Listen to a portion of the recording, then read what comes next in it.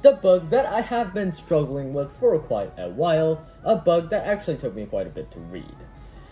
Hello fellow plot questers, it is I, Aaron the Plot Quester, and welcome to another plot questing video, and today we are here with the book Justice by Michael J. Sandel, and well, let's get right on to it. To give you guys a brief idea of what the book is, this book isn't really what Justice as Sandel thinks it is, it is a combination of different styles and different philosophies of justice. And Sandel puts together a lot of different justices, or justifying of justice, as well ironically put. For example, the philosophers that will appear will be there's quite quite a bit actually. There's Kant,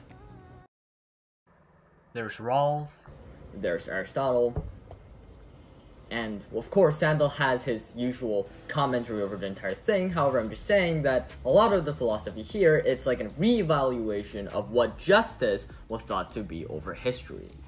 And so basically, it gives you pretty much three main approaches to justice. One is maximizing utility or welfare. Number two is respecting the freedom of choice, which has two sub-branches, which is the libertarian view, actual choices made in the free market, and the liberal agitator egalitarian brief. By the way, this is my notes. I have a lot of stuff written down here.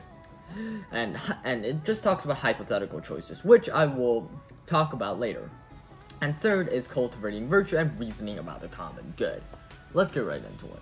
First off, maximizing utility or welfare. This is also known as utilitarianism, I believe. Utilitarianism. Oh wow, okay. And it is pretty much one of the main philosophies that, uh, that appears in this book. And basically it says that justice is maximizing the happiness of one person. Humans are born to don't dislike pain and like pleasure. So whichever choice that derives and makes the most pleasure in the situation is the right or just choice, or that is the philosophy.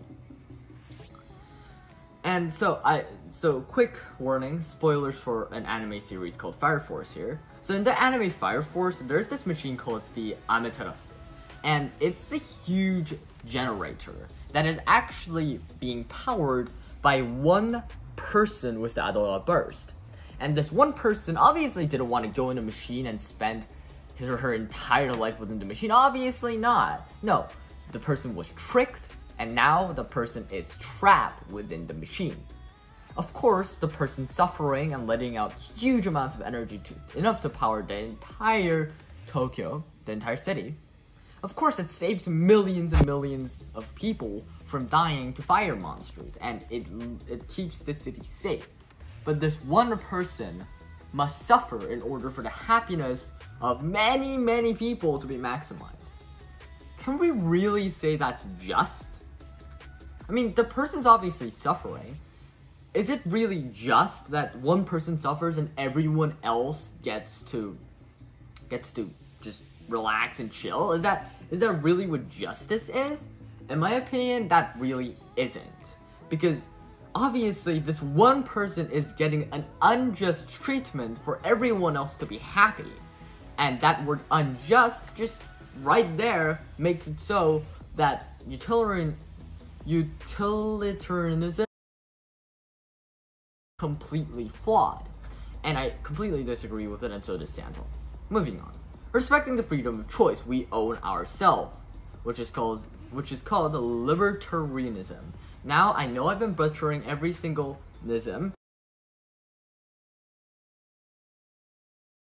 Let's move on. So, people should not do anything if they don't want to do it. That is called respecting the freedom of choice. So we own ourselves, therefore anything that we do should derive from choice. The government should not be able to say, okay, we need money to build a road, therefore we'll tax you guys. That's not a thing. Nope.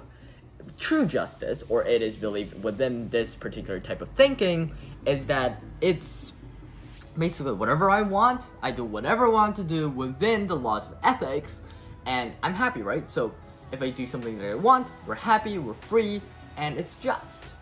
Or so it says. However, sometimes, let's think about general stupidity. So the masses are easily swayed by one really smart person. For example, Hitler.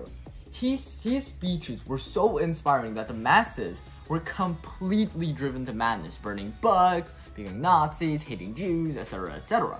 So that really makes it, that really just gives an idea of how this particular thing, the freedom of choice, well, is it really free?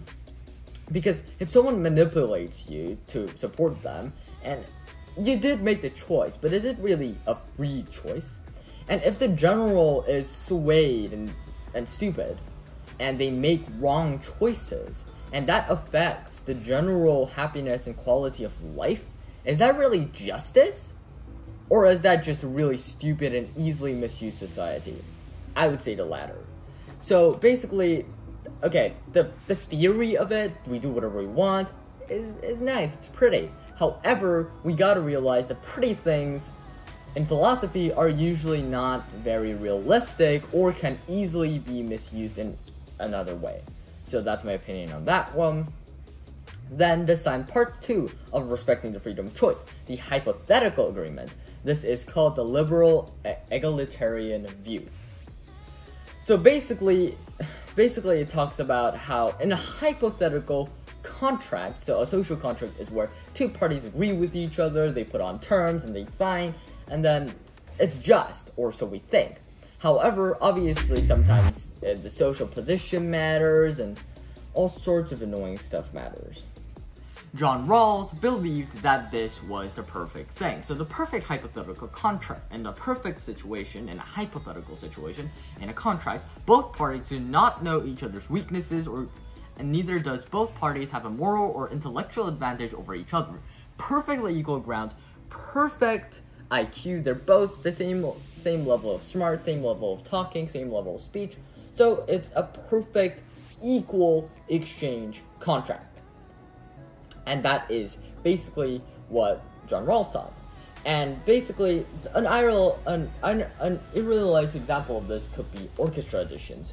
So sometimes when violinists or any sort of musician, honestly, applies for an orchestra, auditions for an orchestra, they are behind a curtain, so the judges will not be able to see what they look like, what what kind of manners they have. No, all they are listening to is the music, which is truly just. So yeah, that, that sort of thing is possible in real life. However, the perfect hypothetical contract is that really possible for two people not to know anything about each other and just make a contract? I don't think that's possible in real life. I mean, they need to have a certain amount of trust between the two people, right? Because in order for a contract to be made, we need to make sure that both parties are at least on decent grounds. So maybe a solution for that for that problem will be having a third party. However, we need to be able we need to be able to know that this third party is completely uncorruptible. And in this and, and in this world, that's not possible. So again, it is a pretty little thing. However, we gotta admit that in real life, in in this actual world, it's probably not the greatest thing in the world. Next, the infamous Immanuel Kant, deontological ethics, the motive, not the action. Let's say you help someone on the street. Um, there's an old lady and she was, she had this really, really heavy bag, yeah? And you go to her and you help her out. But you're not helping her to help her out. You saw, you saw a classmate that you had a crush on in the street and you wanted to impress that girl to think that you're like a good guy, a gentleman or something. And that's what the real reason for for the carrying of the bag is. Of course, you have done something good. Helping an old lady on the street, it's obviously a good thing. However, the motive is to simply impress a girl. Is that really just? Is that is that really good? You're not doing it by the good of your heart. You, you're just you're just moving in your own selfish intent. And Kant says that motive matters the most. If your motive is truly good, if you just want to help people, then that's good. But if you if you have alternative motives in order to do something, then that's not justice. That's not good. Or so Immanuel Kant thought. And Kant has a lot of like really hard to understand and sort of controversial at the time, sort of things. Like, for example, sexual intercourse. He believed that people didn't really own themselves. They they have to give a sort of Kantian respect to each other, or respect for what they are, instead of a respect for the sexual desires. So they need to respect each other as a person, and if they're having just casual sexual intercourse, that's not right, or so Kant thought. So Kant is this really interesting philosopher, and probably one of my favorites from within this book. Motive, not the action, and also like Kantian respect, which is the respect of what the person is, not not something within the person. So you respect the person for being a person, not for being like a cool guy or something, is what Kant is saying. And that's that's interesting, and honestly, that's like the only one that kind of sort of makes sense in this book. I mean, everything makes sense in their own right, but that's the most realistic. However, you gotta admit, humans have desires, and we we work on those desires. We work on those ambitions. We work we work for ambitions. We work for our emotions. We work for various various things, and we need a motive. And that sort of motive can't always be just the good of my heart. For for you to work and for you to be really really hard driven, you need you need a strong motive, an emotional one, or a passionate one, not just, eh, I, I want to contribute to society, so I'm just gonna work. No, that, that just doesn't seem right. And I think that Kant is right that we do need to have a mutual respect for each other, for the person. However, then we should also have an opinion of what sort of person the person actually is. And an interesting example where Kantian philosophy it comes comes in, uh, comes Kantian ide- ideology comes in. Is for example, there's a murderer, right? He wants to look for your friend and he wants to kill him. Your your friend is up in the cellar, and the murderer comes up to you and you say, "Oh, have you seen this guy?" And he's holding a gun, so you know he's a murderer. But so, what would you do in that situation? If you say, "Oh, my friend, oh, I haven't seen him in 20 years," if you say that, that, in Kant's mind, is wrong because you are not giving enough respect for the person itself. However, however, well, of course, Aristotle, I mean, Kant. Yeah, so, but Kant, in that situation, maybe if you said, oh, oh I saw him um, a day ago, he came over to my house. You're not gonna say that he left, but you're gonna say that you did see him yesterday at your house, even though he is still in your house. That's misleading, but that's not a lie. So Kant is this really tech this this guy who really focus on focuses on technicalities, and I think it's really interesting. And he's an interesting guy. However, I think it strays a bit from the topic at hand, which is justice. So let's move on to one of the most famous philosophers of all time, Aristotle. Aristotle's view of justice was that you get what you deserve.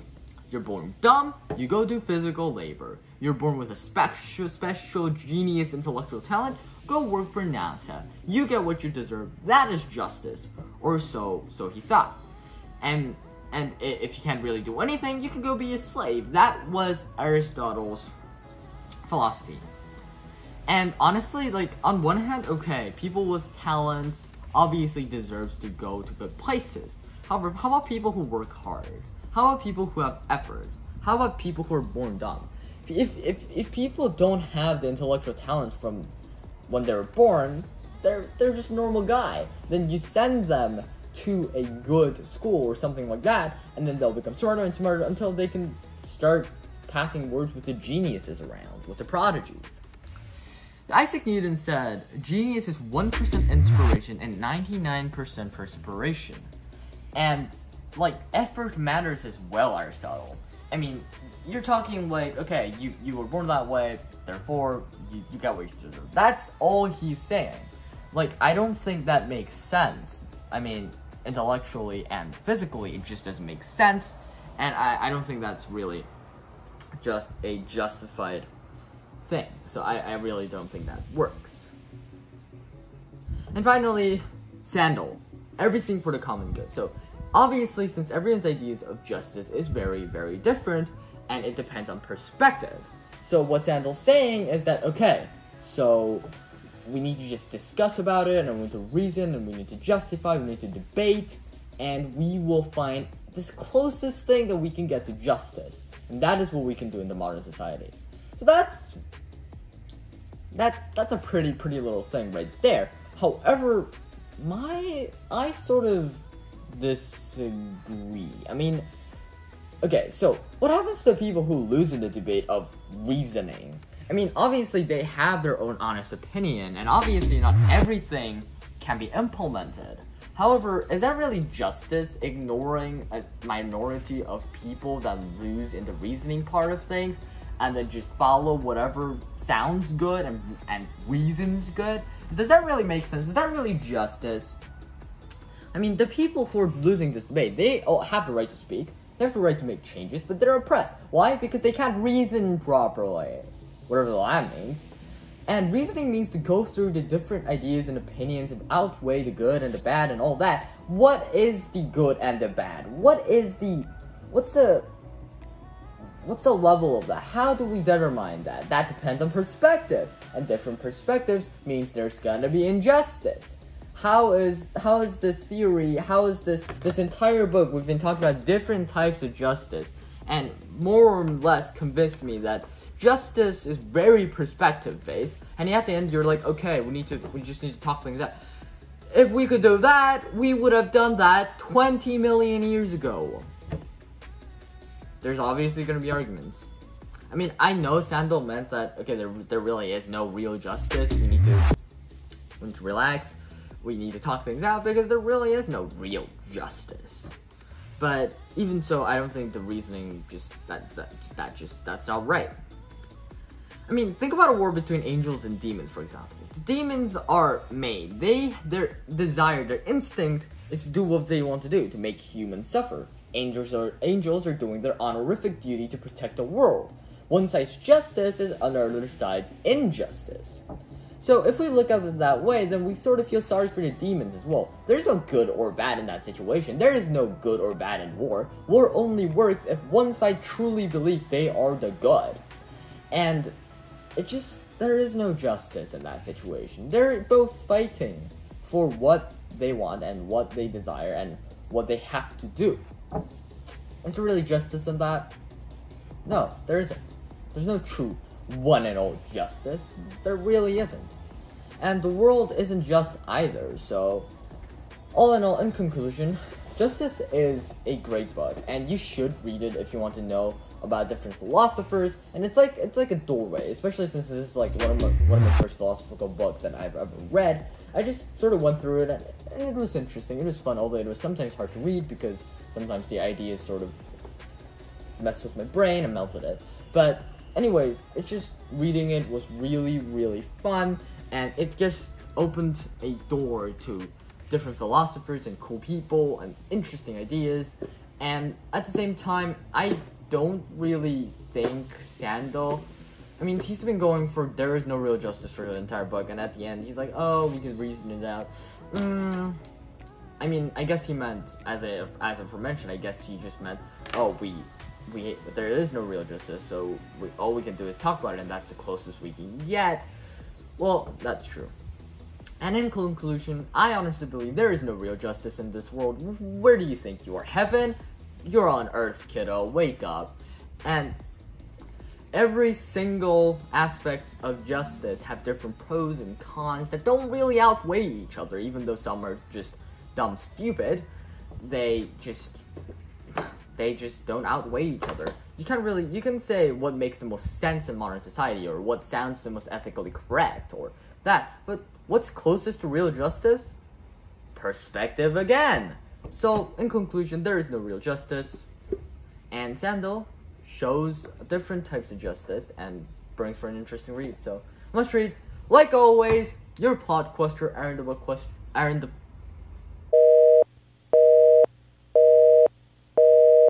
Guys, expect an anime analysis in, let's say, a week. So, see you then and have a great day.